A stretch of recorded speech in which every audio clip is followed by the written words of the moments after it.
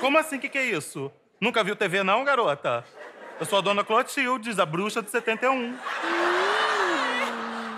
Ah, 71 polegadas. E olha o recalque vindo.